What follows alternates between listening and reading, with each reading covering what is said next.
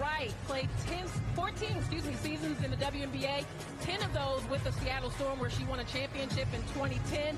Seven-time all-defensive team selection. She was also an assistant coach at the college level um, in Charlotte, at UNC Charlotte, in fact, and then spent the last two seasons alongside Bill Laimbeer in Las Vegas. Here is more about Tanisha Wright. But, guys, I want to go to both of you because, so you obviously spent 10 years beside Tanisha. You were the primary analyst for the Las Vegas Aces and watched her in a coaching role. So what about Tanisha makes this the right hire for Atlanta? If anyone knows T, you know she's so consistent with who she is as a person, so loyal. You know exactly what you're going to get from her, and I think that's a very important quality as a head coach.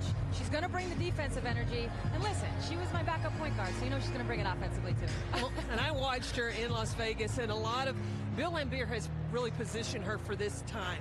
He, he, she took on a lot of the scouting report. I watched her run practice. In talking to players after maybe they had a bad game, how did you bounce back? And they talk about, well, Tanisha said this, Tanisha said that. So she has the trust of the players as well. Well, Atlanta Dream has had three coaches in the last two years, so they're hoping that Tanisha Wright will come in and right the ship. And in the meantime, we got a ball.